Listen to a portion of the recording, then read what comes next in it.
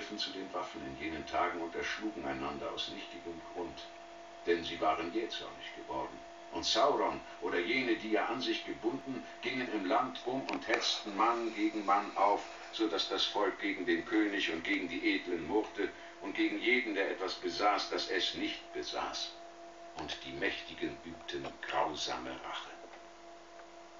Dennoch schien es den Numenorern lange Zeit, dass sie wohl gediehen. Und wenn sie schon nicht glücklicher wurden, so wurden sie doch noch stärker und ihre Reichen wurden immer reicher.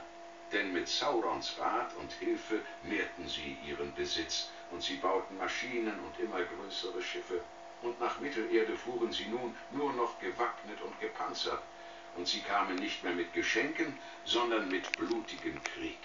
Sie machten Jagd auf die Menschen von Mittelerde, nahmen ihnen ihre Habe und versklavten sie, und viele schlachteten sie grausam auf ihren Altären.